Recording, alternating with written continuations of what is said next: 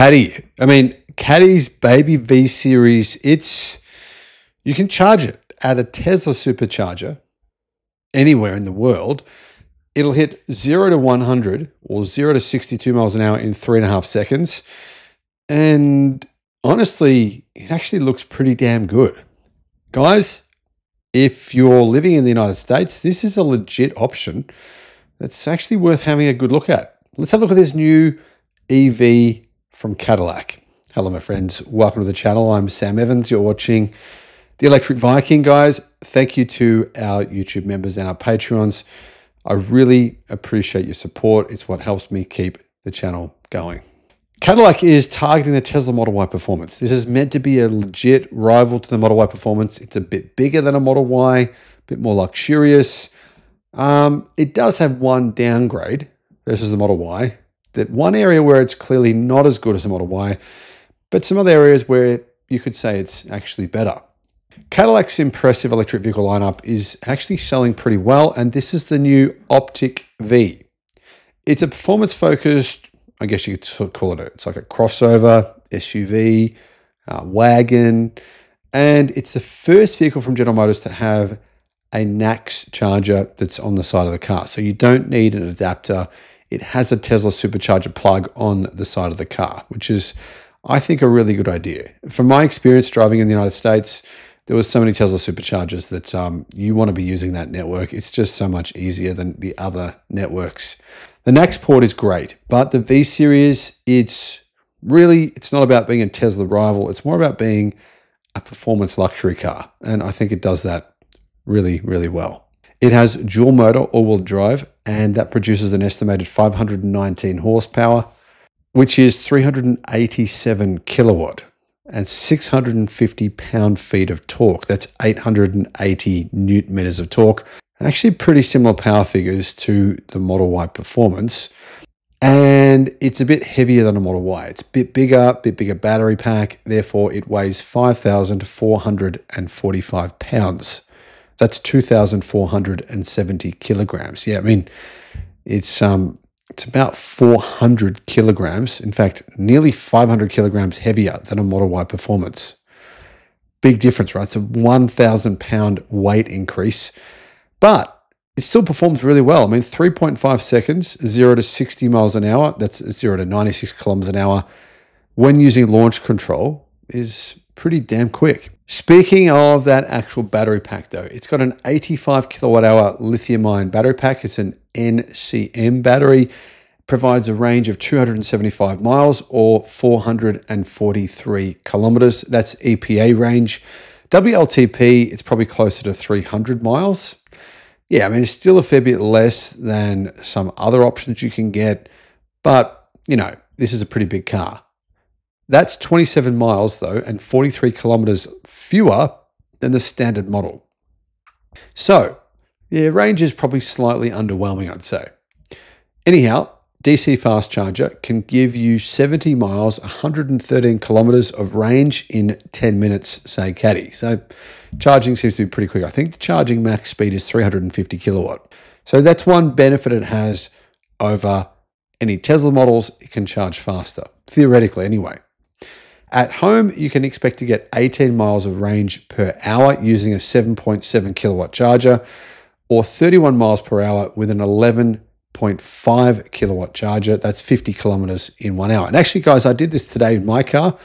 My my Xpeng, I charged, I had it charging at 11 kilowatt, and I added, uh, I probably added close about probably 55 kilometers of range within about an hour. So yeah, pretty good to be able to do that. To be able to sit in your you know, I'd be able to use, well, personally, I only use solar to charge my EV. I only charge it when it's actually going to be powered from the sun. During a media talk earlier this month, lead development engineer on this vehicle, Alex Doss, told, well, they said the Optiq V is designed to be a canyon carver with good handling. I don't know about that. I think it's a bit heavy to be a legit canyon carver. But anyway, as part of the focus on driving dynamics, the crossover comes equipped with adaptive suspension. So it's going to be more comfortable. And that also comes with torque vectoring and specially developed tires. So this is meant to handle quite well. Not sure if that's going to be the case, but I'm guessing it probably will be. It also comes with customizable V mode as well as Brembo front brakes. So I probably got better brakes than a Model Y Performance. The brakes are 15.4 inches or 390 millimeters, but you'd want big brakes considering the weight of this car too. The regular Optiq V um, gets 1500 pound towing, so that's 680 kilograms. Can't tow very much, to be honest, but anyhow, at least it can tow something. So, what's the difference other than that with the regular Optiq? Well, it gets an additional 219 horsepower motor on the front. That's 163 kilowatt and has, you know, some different body cladding. It's got a gloss black front splitter, uh, body color components, a black roof, and a revised intake with a unique mesh pattern. I don't know about you guys. I'm not really a big fan of the whole black roof, you know, different body color and then have a black roof thing. I'm not really into that. I think it's sort of a bit too fast and the furious for me. But anyway, I mean, some people like that, right?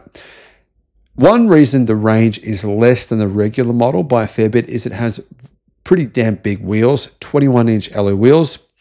And those wheels have a satin graphite finish as well as a laser etched V Series badge. You can also see a diffuser as well as unique uh, badging for the rear quarter glass. The Optiq V comes in apparently eight different colors. There's Deep Ocean Tint Coat, a Magnus Metal Frost. Who's coming up with these names? Holy moly. Uh, you can also get a carbon fiber package that includes a front splitter, rear diffuser, and a mid-mounted spoiler, which just adds stuff to your car for extra money that won't actually do anything for you. Guys, speaking of that interior, I've got to say, I think it's one of the best General Motors interiors I've ever seen. They've done quite a good job with it. Yeah, that's a place that I, I wouldn't mind spending a bit of time in, to be honest. What do you guys think about this? Is this a vehicle that appeals to you? I hope it does well. I think Cadillac, they're going all electric only. Uh, I reckon that's great news. So I'm all in on Cadillac. I think we should support them as an electric car, as an EV community. Uh, good on them, they're going in the right direction. General Motors, though, hmm, you know, not so much. I think they, um, they have sort of paused EV EV sales a little bit. Uh, now they're now spending a billion dollars on their new V8 engines, which will be 0.01% more efficient than the previous model. Or maybe they just won't break like the previous V8s, which have been breaking all over the world. Anyhow, forget the V8. The future is obviously electric. Let me know what you think in the comments. Bye bye. Do you guys ever have those moments where you look and see what you think, hey, hang on a minute, that's the future? Is things are changing and this is what the future is going to look like. That's what I see here with these these new gas stations that well they're not gas stations. They look like them but they're actually electric car stations. Hello my friends, welcome to the channel. Great to have you with us. I'm Sam Evans. You're watching the Electric Viking. If you haven't already, make sure you subscribe below. We normally do about six or seven videos per day. General Motors, they are building gas stations all over America, DC fast chargers. They are installing 350 kilowatt charging stations along the busiest travel corridors in the US. They look very similar to a gas station. There's got to be so many people pulling into these, these stations. They're not going to know. They're going to think, oh, this is a gas station. They're going to pull up and go, ah, um, this is this is the future. I guess I'm not part of the future. I better keep driving and try and find a gas station. Gas stations will start to close en masse across the United States. It's been happening in China. Have a look at China. Look how many DC fast chargers they're, they're installing in China. And then you have a look at how many, how many gas stations are closing down as a result. It's the only logical conclusion here.